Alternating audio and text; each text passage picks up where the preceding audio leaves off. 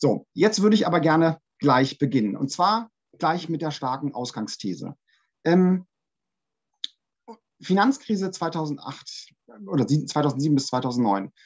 Je, je, nachdem, wie alt sie sind, manche werden von euch werden sich nicht mehr daran erinnern, andere schon, war eine unglaubliche Zäsur. Und es ist zwar schon fast 15 Jahre her, aber sie wirkt weiterhin und das ist ganz wichtig. Also zum einen, der Glaube an die Selbstregulierungsfähigkeit der Märkte ging verloren, richtigerweise meine ich. Das zweite, auch der Glaube an die perfekte Bereitstellung von Geldmitteln, von Liquidität ging richtigerweise verloren. Vor allen Dingen haben aber Millionen Menschen ihren Job verloren, äh, ihr Haus verloren in den USA, sind in die Arbeits äh, äh, Armut gestürzt worden, was auch dazu führte, dass der Glaube an dieses neoliberale, marktliberale Regime doch sehr ins Wanken gerät. Vor allen Dingen die Idee, dass der irgendwann zum Wohlstand aller Menschen führen würde. Also in den USA ist es immer noch so, dass die unteren 50 Prozent weniger Vermögen haben als noch vor der Krise. Vor allen Dingen aber hat sich auch die Vorstellung geändert, dass Zentralbanken irgendwie langweilig passiv wären. Und deswegen meine ich, dass die Phase seitdem und immer noch als Zentralbankkapitalismus bezeichnet werden kann. Also was, was charakterisiert es in Zentralbankkapitalismus? Und das ist eine der wenigen Folien, wo mal ein bisschen Text drauf ist, sonst versuche ich das bildlich zu machen. Einmal, Finanzmärkte sind durchgehend krisenhaft bis dysfunktional. Das ist eine starke These, die müssen wir diskutieren. Ich werde das an einigen Stellen ausführen. Zum einen der Interbankenmarkt, das war der wichtigste Geldmarkt bis zur Finanzkrise, ist seitdem nicht mehr existent. Das muss man sich auf der Zunge zergehen lassen. Der wichtigste, die wichtigste Art, wie Geldmittel bereitgestellt wurden auf dem Interbankenmarkt, der ist nicht mehr existent. Und eigentlich wirken die Finanzmärkte einfach nur verstärken. Also entweder ist zu viel Liquidität da oder zu wenig und es führt zur Krise. Das heißt, Finanzmärkte sind im Prinzip dysfunktional seitdem. Zweitens, Wirtschaft stagniert. Es ist nicht wirklich zu einer Erholung gekommen seit der globalen Finanzkrise. Drittens, die Regierungen verhalten sich extrem zurückhaltend. Sie, Investitionen werden nicht wirklich getätigt. Fiskalpolitik, also Investitionspolitik, sehr zurückhaltend. Finanzpolitik ist aber auch nicht sehr stark. Das muss man auch wieder regulieren. Frau Roll wird da sicherlich auch ein bisschen andere Sicht haben. Ähm, ich sage aber, es ist zu zurückhaltend insgesamt. Das heißt, Zentralbanken sind the only game in town. Also die einzigen, die wirklich aktiv agieren, agieren müssen. Denn ohne die ständigen Interventionen, ich werde das noch genauer ausführen, kommt es quasi sofort zu einer Krise im Finanzsystem, was dann ähm, relativ schnell sich in eine Krise des, äh, der produktiven Wirtschaft oder der Realwirtschaft, wie sie auch manchmal genannt wird, übersetzt.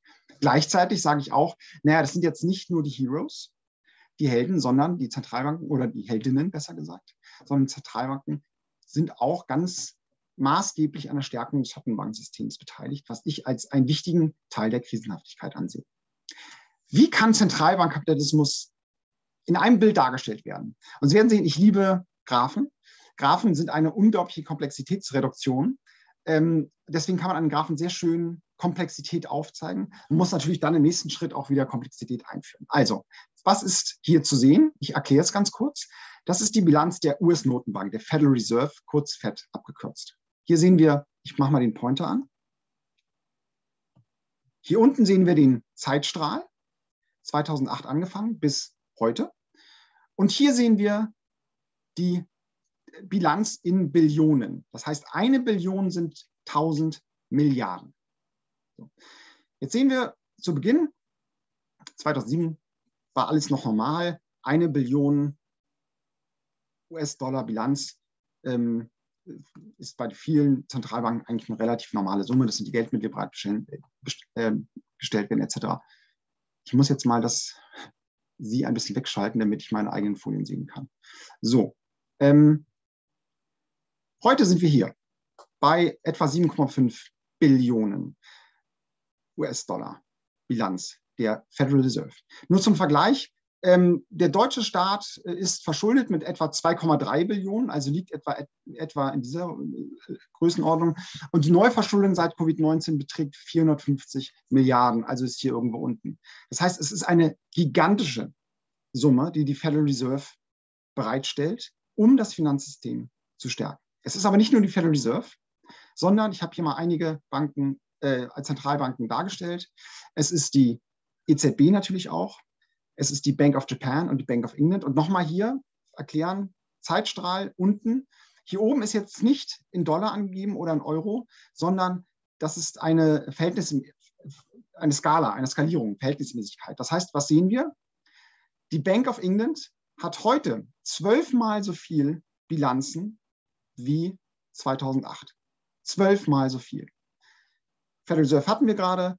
Ähm, die EZB liegt etwa im sechs- bis siebenstelligen Bereich, ähnlich die Bank of Japan. Das heißt, es ist jetzt nicht nur die Federal Reserve, um die es geht, die US-Notenbank, sondern es betrifft eigentlich alle vier Notenbanken, die, Notenbanken, die unglaublich viel Liquidität bereitstellen. So, jetzt schauen wir uns mal an, wieso eigentlich. Es gab Finanzkrise, 2008 war der erste Sprung ähm, von etwa 1,3 Billionen, die die Federal Reserve zugeschossen hat. Und dann natürlich jetzt die Covid-19-Krise. Ne? Ein unglaublicher ähm, Geldstrom, der notwendigerweise auch, um das System zu bestärken, bereitgestellt werden musste. Was ist denn aber dazwischen? Ich diskutiere ja ganz viel mit Kollegen auch. Dann wird zum Teil gesagt, ja, können wir hier überhaupt von einer Krise sprechen? Meine, dazwischen scheint es ja, gibt zwar einen Anstieg, aber verhältnismäßig ruhig zu sein. Wenn wir uns jetzt anschauen, sehr, ich habe viele Grafiken, aber es geht ja auch um eine Visualisierung einer Krisenhaftigkeit. Hier wieder unten der Zeitstrahl. Und ähm, was wir hier sehen, ist der Standard Poor's Aktien 500 Aktienindex. Das ist eigentlich der wichtigste Aktienindex weltweit. Ähm, das, hier sieht man die Dotcom-Blase. Das war Anfang der 2000er. Das ist hier die Blase vor der Finanzkrise. Und seit der Finanzkrise geht es rasant steil nach oben. Jetzt können wir natürlich sagen, ja, wieso Krise? Wenn die Aktien immer mehr an Wert zunehmen, ist das doch wunderbar. Wo soll denn hier eine Krise sein? Ich sehe das etwas anders. Ich sage, ähm, und bin ich natürlich nicht alleine, viele andere auch, dass sich hier eine gigantische, und ich rede von, wirklich von einer gigantischen, noch nie dagewesenen Blase aufbildet, aufbläst gewissermaßen, der Ausdruck der Krise ist und Ausdruck des Zentralbankkapitalismus. Da kommen wir natürlich im Laufe nochmal zu sprechen. Und er spiegelt vor allen Dingen nicht den Zustand der produktiven Ökonomie wider. Die liegt eigentlich weiterhin am Boden. Trotzdem sind die Aktienmärkte hier ganz oben. Das heißt, wir müssen, ich komme immer wieder zu diesem Bild zurück, uns nochmal genauer angucken, was hier eigentlich zu sehen ist. Ähm, die Federal Reserve hat 2015 Märkte zwischen 2015 und 2018, ja, die Geldmittel sind etwa ausreichend und dachte dann, ähm, dass sie ja die Geldmittel auch wieder zurückfahren könnte. Das war, wir sehen seit 2018 den Versuch der Federal Reserve zur Normalität zurückzukehren. Also zu, dem, zu der Art und Weise, wie sie vor der Finanzkrise die Geldmärkte reguliert hat. Äh, nicht die, die Finanzmärkte reguliert hat. Und dann sehen wir nämlich, dass schon vor der Covid-19-Krise wieder zum Anstieg kam. Was ist also hier im September 2019 passiert? Und ich und andere nennen das die Repo-Krise. Und die müssen wir uns jetzt genau anschauen, weil das auch ein Ausdruck, das heißt, ich, ich zoome mal in diesen Bereich rein. Was ist hier eigentlich passiert? Im September 2019. Jetzt habe ich noch eine andere Grafik, wo wir sehen, hier wieder der Zeitstrahl. Wir sind jetzt enger zwischen 2017 und 2021. Und es, hier ist der Repo-Satz. Das müssen Sie jetzt gar nicht verstehen, was der Repo-Satz genau ist.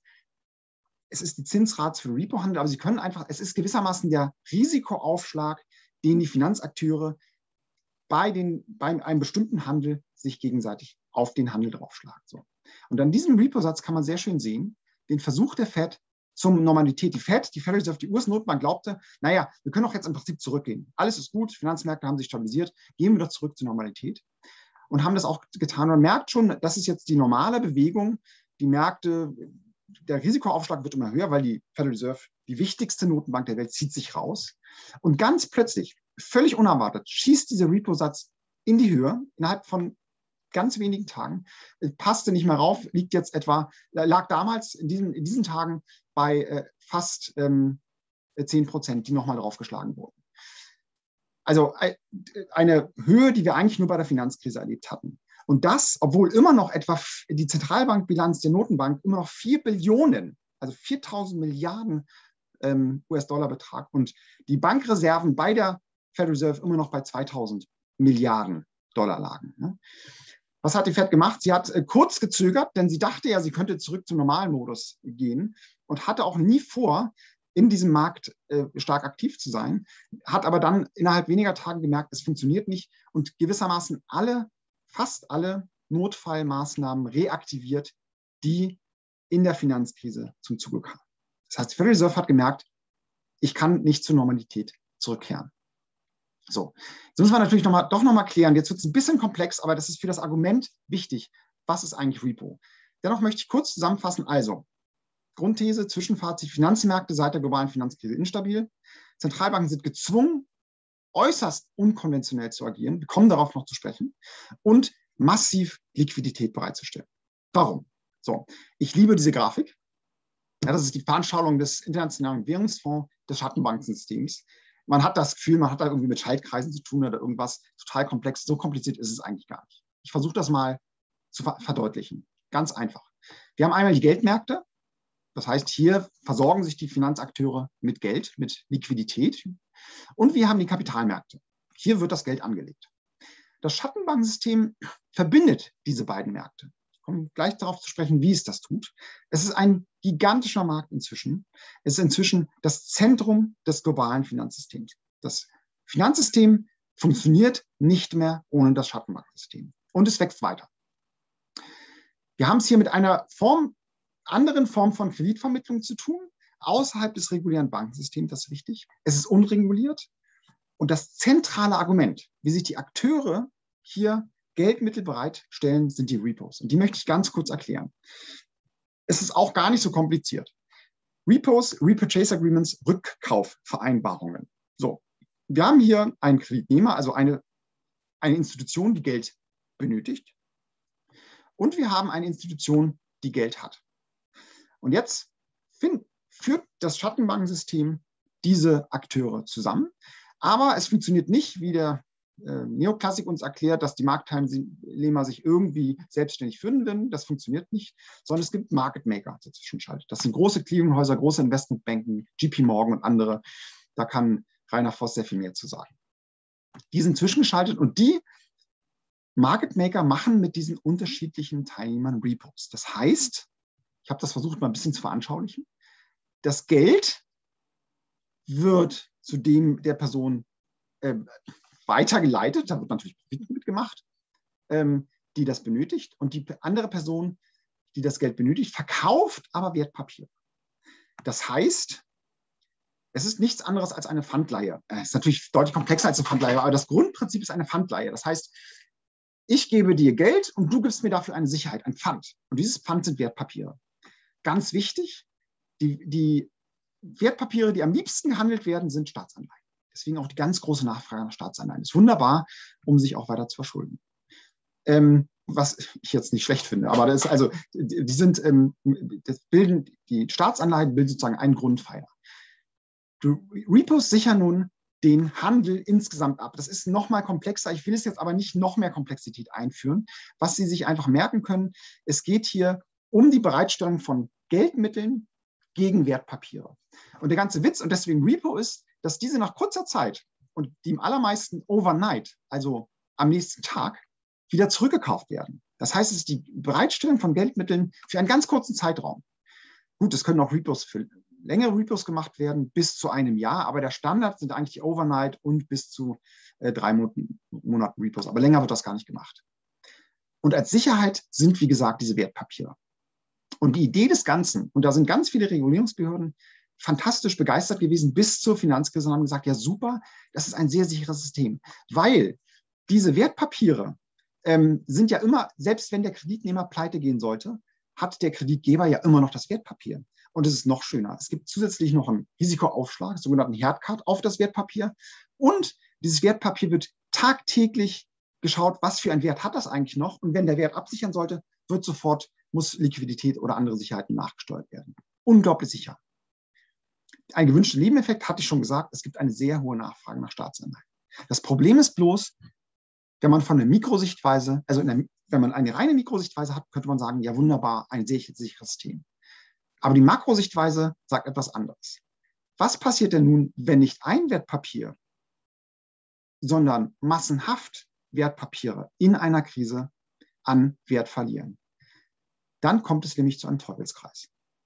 Und ich deute den hier nur an. Also, es kommt ein, um einen Wertverlust massenhaft von Wertpapieren, weswegen auch immer, einer Panik, wie auch immer. Es kommt zur Erhöhung der Sicherheitsaufschläge, der sogenannten Haircuts. Der Bedarf an Sicherheiten erhöht sich. Es werden diese Margin Calls, also der äh, gemacht, das heißt diese tagliche Nachfragen nach mehr Sicherheiten. Das führt zu einer Zunahme des Preises der Repos. Die Finanzliquidität nimmt ab. Ähm, es müssen Wertpapiere verkauft werden, um wieder äh, mehr Liquidität zuzusteuern, um mehr Sicherheit zu steuern. Das heißt, wenn aber viele Wertpapiere verkauft werden, kommt es zum weiteren Wertverlust Verlust und so weiter und so weiter. Es setzt automatisch einen Teufelskreis in Gang, der irgendwann zu einer Panik auf den Repo-Märkten führt. Geldmärkte kollabieren, System der Marktmacher kollabiert, das Schattenbankensystem bricht zusammen und mit ihm dann das gesamte System, Finanzsystem. Genau das haben wir 2008 festgestellt. Genau so ähnlich lief das aber auch in der Repo-Krise im September 2019. Und genauso lief das übrigens, das haben ganz wenige nur gesehen, denn, denn die äh, Covid-19 war auch eine Finanzkrise. Im März, Mitte März 2020 kam genau dieses selbe System, dieser Teufelskreis zum Tragen. Und ich stelle das Gleiche nochmal bildlich, aber das ist das gleiche Argument, was ich bildlich nochmal ganz kurz darstelle. Also Hypomärkte wackeln, Geldmärkte brechen zusammen, System der Market Maker kollabiert, dadurch ähm, kollabiert das Schattenbanksystem, es gibt keine Finanzierung mehr der Kapitalmärkte und die Zentralbanken sind schlussendlich die einzigen Akteure im ganzen Finanzsystem, die überhaupt noch Liquidität besitzen. Kommen wir vielleicht in der Diskussion noch drauf, wieso das der Fall ist. Diese Liquidität können sie dem Bankensystem bereitstellen. Sie konnten es bis zur globalen Finanzkrise aber nicht dem Schattenbanksystem bereitstellen. Und das war ein Problem.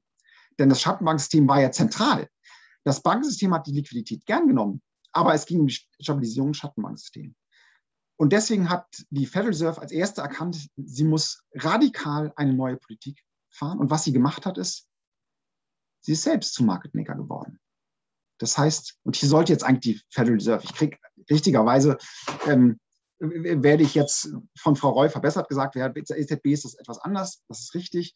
Aber für die Federal Reserve gilt das, es gilt auch für die Bank of England, die sich als eigene Market Maker auf Last Resort dann direkt in den Finanzmarkt, im Schattenbanksystem. Das muss man sich, also die Federal Reserve ist im unregulierten Schattenbanksystem tätig, um das regulierte Bankensystem zu retten.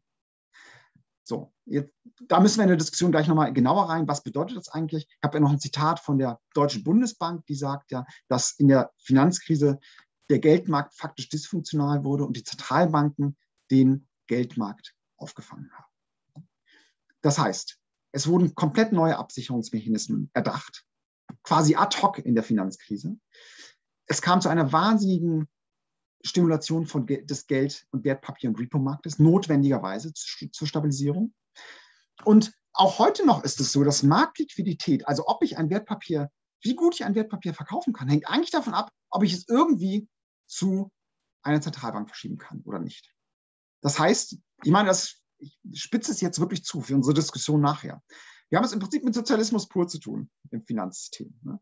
Die Zentralbank gibt Preise für, für bestimmte ähm, Wertpapiere an, äh, gibt verschiedensten Akteuren äh, Geldmittel, die sie benötigten und ähm, setzt somit einen Preiskorridor fest, den die Marktteilnehmer auch akzeptieren, weil das System einfach krisenhaft ist. Werden wir gleich im Anschluss diskutieren. Das heißt, ich sage ja, wir können eigentlich sagen, dass erst seit der globalen Finanzkrise wir in einer permanenten Krise sind. Und ähm, was wir hier sehen, dieser massive Anstieg der Bilanz, und ich bin, komme gleich zum Ende, ist ein Ausdruck tiefer und radikaler Unsicherheit im Finanzsystem. Also meine letzten beiden Folien. Einmal das Dilemma der Zentralbank. Das heißt, sie müssen, die Zentralbanken sehen, sie müssen massiv Geld bereitstellen, sie müssen unkonventionell handeln Gleichzeitig führt dieses unkonventionelle Handeln dazu, dass die Aktienmärkte immer weiter steigen und sich diese gigantische Blase, die Sie am Anfang gesehen haben, aufbaut. Wenn die Zentralbanken aber aufhören würden, kommt es sofort zur Krise. Das heißt, um diese Krise zu verhindern, muss das Schattenbankensystem gestärkt werden, kommt zu Blasenbildung und die Instabilität nimmt weiter zu. Ein Dilemma, in dem die Zentralbanken sich befinden. Das heißt, was die Zentralbanken gewisserweise machen, sie kaufen sich Zeit. Nicht sich, sie kaufen Zeit. Sie selbst sind nicht in der Lage, diesen, aus diesem Dilemma rauszukommen. Sie kaufen Zeit, und das ist jetzt mein Punkt für die letzte Folie, damit die Regierung aktiv handeln. Und das seit 15 Jahren. Leider haben die Regierungen bislang wenig darauf reagiert. Und ich deute jetzt mal Lösungen an. Das müssen wir natürlich gleich in der Diskussion nochmal wirklich ähm, auf Herz und Nieren prüfen und auch kontrovers diskutieren. Erstmal natürlich, es gibt keine einfache Lösung. Es ist äußerst komplex. komplex. Aber ich sage, es gibt Anfänge, und dann muss man im Prozess natürlich gucken, wie es weitergeht. Erstmal das Schattenbankensystem muss eingeschränkt werden. Der Glaube an dieses freie, marktliberale System, was Liquidität bereitstellt und super funktioniert, ist fehlgeleitet. Das Problem ist natürlich, wenn das Schattenbankensystem wirklich zurückgefahren werden sollte, was sich leider bislang nicht abzeichnet, könnte es sein, das müssen wir auch wieder diskutieren, dass die Nachfrage nach Staatsanleihen abnimmt. Und das gerade zu dem Zeitpunkt, wo alle Staaten notwendigerweise massiv äh, Finanz, ähm, also äh, investieren müssen. Zum einen wegen Covid-19, aber demnächst auch hoffentlich äh, wegen der Transformation, gegen den Klimawandel und so weiter. Das heißt, es gibt eine hohe Schuldenlast und die Frage ist, wer nimmt dann die Staatsanleihen ab? Das heißt, ich sage, und das wird sehr kontrovers, ich glaube, wir müssen die rote Linie der verbotenen Staatsfinanzierung der Zentralbank hinterfragen. Wieso können die Zentralbanken, die Bank of England hat das gemacht, in der Covid-19-Krise, hat gesagt, wir kaufen die Staatsanleihen unseres eigenen Staates auf.